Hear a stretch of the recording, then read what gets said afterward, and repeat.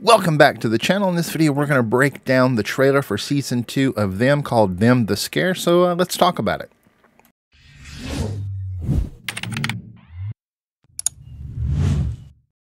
So Them is back, and I couldn't be happier. the The first season was freaking amazing. Little Marvin did so he he's does such a good job of telling a horror story. If you haven't seen the original season, it, it came out um, well before COVID, I'm pretty sure, and uh, on Amazon uh, Prime Video. It's amazing. This the new season. I've been I've been waiting for it for a long time. Uh, I, I watched the original when it first came out, and then I kind of forgot about it and I even started to review the first episode here on the channel like two weeks ago, and I realized that I had that I had already watched the series. So I'm super excited for this one. Uh, it has the some of the same cast, but a completely different um, story. So yeah, let's let's talk about it. Let's watch. Let's break the trailer down. I should say not watch the trailer. We're gonna break the trailer down. The description for the show says in 1991. LAPD homicide detective Dawn Reeve is assigned to a new case. The gruesome murder of a foster home mother has left even the most hardened detective shaken. Navigating a tumultuous time in Los Angeles with the city on razor's edge of chaos, Dawn is determined to stop the killer. But as she draws closer to the truth, something ominous and malevolent grips her and her family. Okay, so the trailer opens up and we have this character. I don't know his name. The only character I know is the detective Dawn Reeve, played by Deborah. I'm not saying how you say her last name, so I'm not even going to butcher it. But um, she was in season one. I don't think this character, this person, this actor was in season one. I don't remember him. Uh, at first, I thought he was the tap dancing man, but I'm pretty sure I was wrong about that. That that character's terrifying in season one. But anyway, we open with this character and the way the trailer goes, I think he could be the serial killer that they're looking for. But anyway, he's sitting in a locker room, he's listening to music, and he looks like he's, to me, he looks troubled. And then we, we go on to the next image. We see that he's sitting in some type of a locker room. Maybe he's at a gym, maybe he's at a school, I'm not sure. And he is putting on some type of a oversized costume head. It kind, to me, it kind of looks like maybe, maybe like a school mascot. Maybe maybe he's not the killer. Maybe he's one of the characters. I, I don't know. We'll have to wait and see.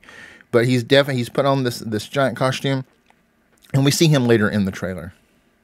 So next we see Detective Reeve uh, waking up. We, we get the the date. The setting is 1991, and uh, she appears to be you know getting up to get ready for work because we see her getting her gun and her badge, and then going into her her kitchen and, and seeing her family.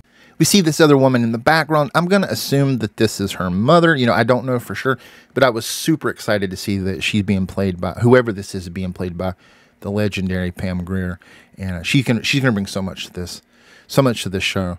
Um, I look forward to to seeing these exchanges, these you know the conversations between Deborah, who I'm not going to say her last name because I'll butcher it, and Pam Grier. That is going to be some just some epic scenes, I think. Pam Grier's character tells uh, Dawn to to be careful, and then we see her uh, at a crime scene, and I, I, don't know about the the the color of the sky here. That that's kind of interesting to me. I, have never been to Los Angeles, so I don't know if that's what the morning looks like there or not. But uh, I, I, don't know. I would think not, but maybe it's just a filter to to add um, suspense. But anyway, she she walks up to another officer and he tells her she needs to see this, and then we go into this building where you know something's happened. This house. So Detective Reeves, she, you know, she goes to the house. She's starting her investigation. We see like this mass of cables on the ground, and uh, it's uh, to me it already has like a super creepy vibe to it. You know, it's dark. She sees all these TVs for some reason, and she's just checking out this um, this crime scene. And I, I, I do, yeah, I, I, really think that right now, I mean, I was starting to feel a super creeped out vibe. It kind of gives me a um, seven vibe right now. Uh, I think, you know, we're obviously going to be dealing with some type of a deranged serial killer, but I think there's probably going to be more. And we'll get on that when we get further into this trailer. And, you know, like in, in season one, you know, there was multiple fronts of, of to deal with when it comes to the horror. So I'm not sure where we're looking right here, but it looks like a body has been stuffed into like a closet or behind a wall. And our detective is is looking at this and the body's in pretty banged up, broken state.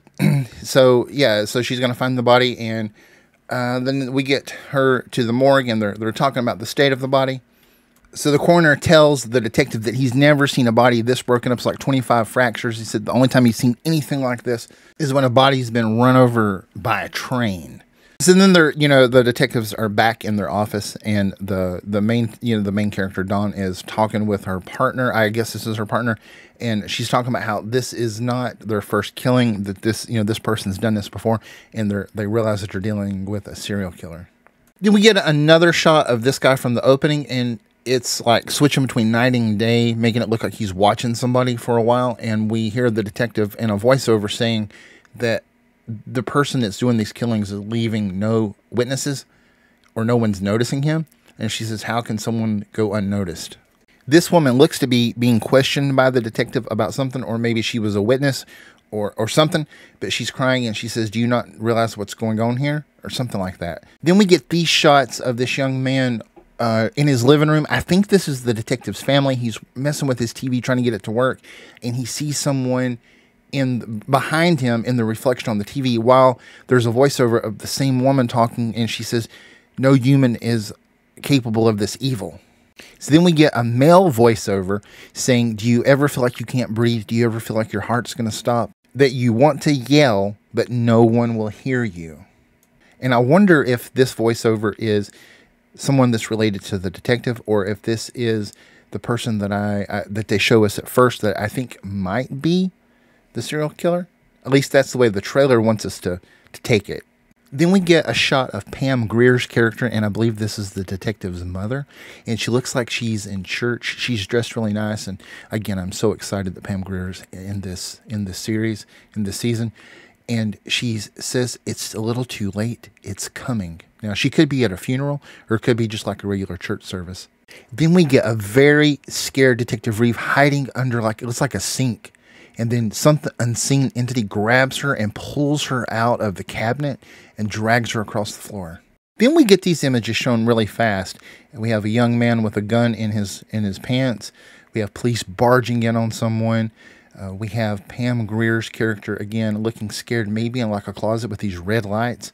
And then we have this young woman. I wonder if this is the same. This girl. I wonder if she's the same girl that played Ruby Sue in the first season. Then we have this man who is, I think he's pro- probably pretty terrified. And then we have this wall of TVs like we saw in the house. And while all this is going on, we keep hearing over and over and over fear is not an option. Fear is not an option. And that was one of the things that at the very first scene where we see the man in the locker room, he's listening to something that says, What would you be able to do if fear wasn't an option? Then we get Detective Reeve. Once again, I believe this is her partner she's talking to, and she asks if he believes in God. He says yes, and she says, even with everything we see.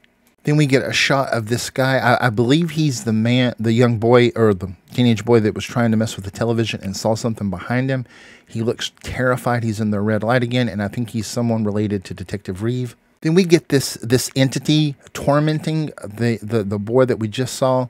It's, it looks to be whispering something in his ear and I, I think it's really just you know in the in the first season we saw the father was tormented by something something supernatural an entity and I think that's what we're seeing here and uh, I, I think it's going to be great because it has the serial killer and it has the supernatural aspect.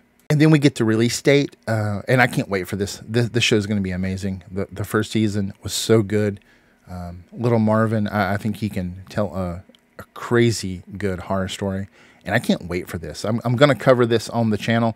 I don't know how it's going to be released. I don't know if all the episodes are going to be released at once. I don't don't know how many episodes. I would imagine eight to ten. I believe that's how much the the first season was, and the original season was released an episode. I think maybe the two episodes the first week, and then a week. One episode a week after that. I hope that's the way they do it. Uh, for me, that's the best way to cover cover shows. And uh, yeah, I can't wait for this one let me know in the comments if this is something that you're going to watch. Uh, if you love horror, you you can't do better than this, guys. Especially this time of the year. I mean, this is like this is like getting Halloween early. But yeah, I, I can't wait for this. And uh, guys, I hope you enjoyed this breakdown, and I will see you in the next video. If you don't want to miss my coverage of the show, Them, The Scare, make sure you sub to the channel, and uh, you can catch some more of my great content either by clicking the video on the left or the right. And I'll see you next time.